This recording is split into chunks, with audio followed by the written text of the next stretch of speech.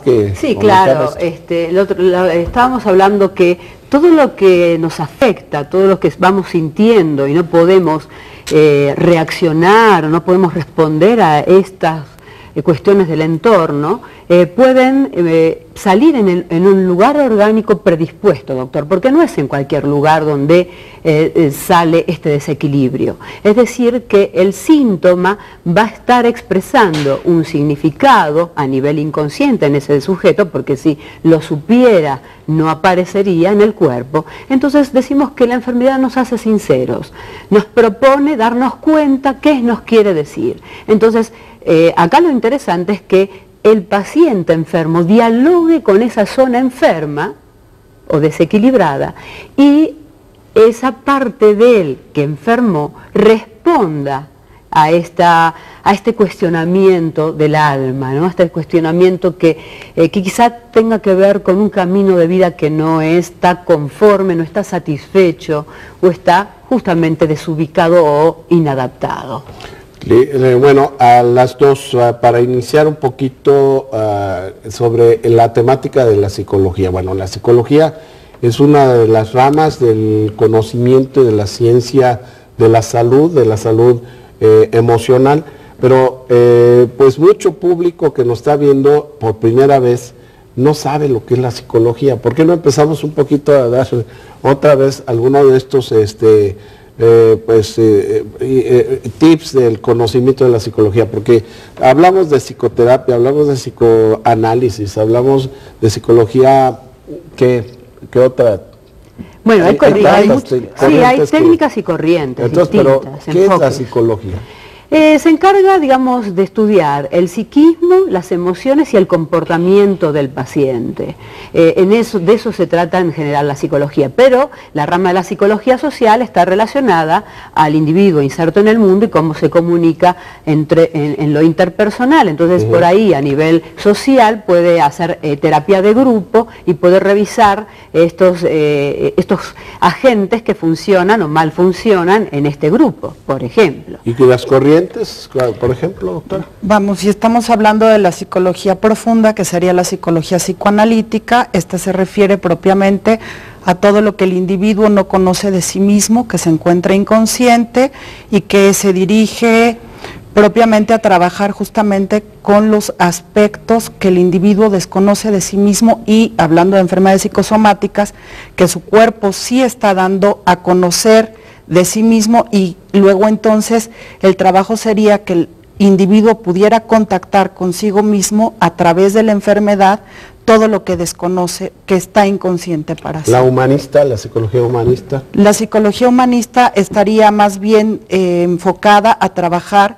con las experiencias de vida actual del individuo que lo están sometiendo a, eh, digamos, a cuestiones de estrés, o a situaciones poco favorables emocionalmente y que tiene que resolver en este momento, mientras que la psicología psicoanalítica va a abordar del aquí y el ahora hacia el pasado y qué conexiones hay de lo que le sucede al individuo en este momento con lo que le ha venido sucediendo a lo largo de toda su historia. ¿Y la psicoterapia?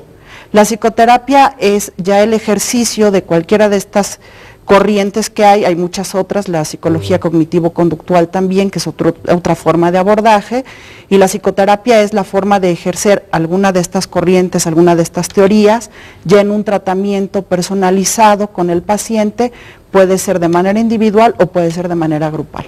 Entonces, eh, hay eh, este, corrientes que nos ayudan a resolver eh, problemas del momento, del presente, y como dice usted, el psicoanálisis ya es profunda porque va hacia esa parte que desconozco, que yo, yo mismo no me doy cuenta qué tantos problemas tengo y, este, y que pues el, el, psicoanálisis me, me, ayuda a rescatar esa, y sobre todo, doctor, que se repiten y que se repiten nuevamente. Entonces, al final, el, paciente, bueno, el paciente o cualquier individuo, mujer u hombre, se casa con su padre o su madre, entre comillas. Entonces vuelve a repetir esos roles, ¿no? De víctima o de victimario, y eso es lo que tratamos de eh, intentar, al menos, eh, como decimos en la jerga cómica, enfermémonos de algo propio, no de algo relacionado a nuestros padres o abuelos. Seamos creativos al menos en la forma de enfermar. O sea, hagamos una patología que nos es propia, no algo de repetición, ¿no? que tiene que ver con la genética o lo congénito, o lo miasmático como Hahnemann comentaba, ¿no? este patrón miasmático eh, que es un patrón parafísico de la enfermedad este, ligado a la predisposición de enfermedad en un órgano predispuesto. ¿no? Bueno. Eh, sí, doctor, eh, licenciado. Sí, quisiera agregar que finalmente la repetición está asociada con el hecho de todo lo que no se tiene consciente, que se tiene inconsciente y luego el, entonces se vuelve a actuar porque no es consciente el conflicto y al momento en que se hace consciente se puede tener ya un control sobre ese conflicto y darle, como dice la licenciada, una forma más personal, más individual del conflicto para poder resolverlo. Correcto, bueno, pues ya esto nos acerca mucho a lo que eh, las diferentes corrientes de la psicología nos, eh, nos proponen para resolver diferentes problemas, ya sea en los presentes como los profundos y una serie de eh, técnicas, ¿verdad? Eh, volvemos al término corrientes que nos ayudan a, resolver las mismas. Eh, el caso de una, por ejemplo, hablamos de gastritis o de psoriasis o de asma la semana pasada y comentábamos que esta puede tener un fondo emocional todas tienen un correlato psicoemocional. Todas, todas las para nosotros, para, Sí, desde el enfoque este, psiquiátrico, psicoanalítico o psicoterapéutico, todas las enfermedades tienen un correlato psicoemocional porque somos una integridad. No, yo, yo no soy un cuerpo, ni tampoco soy una emoción, ni tampoco soy un pensamiento, soy todo eso. Entonces, esta forma que tenemos de vivir o de convivir o de expresar o de no expresar, todo eso somos. Por lo tanto, eh, el, el, doctor que comenta que no hay una relación social y psicoemocional en una enfermedad, digo, está negando esta posibilidad que somos como integridad, doctor. Es imposible que un doctor alópata este, esté en desacuerdo con, por lo menos con esta teorización de que somos una integridad. Ahora, si no trabaja... Creo que a estas alturas ya es muy difícil. Claro, pero sí, pero sí, a veces nos encontramos con... biológicos sociales. Psico, bio, biopsicosocial. Biopsicosociales. Bueno, además, por ahí hay un término ya más Ah, está, está relacionado a la psiconeuroendocrinoinmunología, que hace 30 años se creó para eh, eh, estudiar a este ser eh, en totalidad, porque se ha descubierto que la gente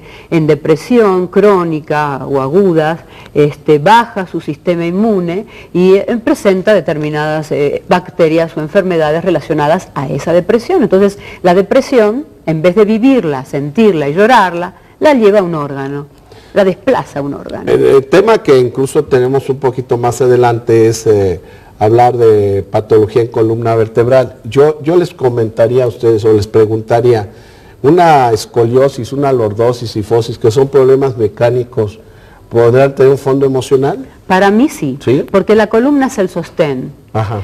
El sostén en, el individuo que es, el sostén es lo que te sostiene, lo que te protege. Y hay cajas craneales, torácicas y cajas pélvicas. Y cada una tiene que ver con lo que pensamos, sentimos y hacemos.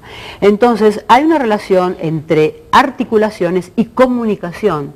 El que no tiene flexibilidad en estas articulaciones está relacionado a una persona rígida. Entonces, eh, sí podemos decir que la desviación de columna está ligada a una persona eh, que está agrediendo el entorno con hostilidad. La gente que tiene problemas, en, por ejemplo, en las articulaciones en sí, son problemas que en el dar y recibir, por ejemplo, si lo tienen en los dedos de las manos o en las muñecas, problemas de falta de creatividad o problemas de falta de astucia o mucha rigidez en esta forma o dureza de corazón, decimos.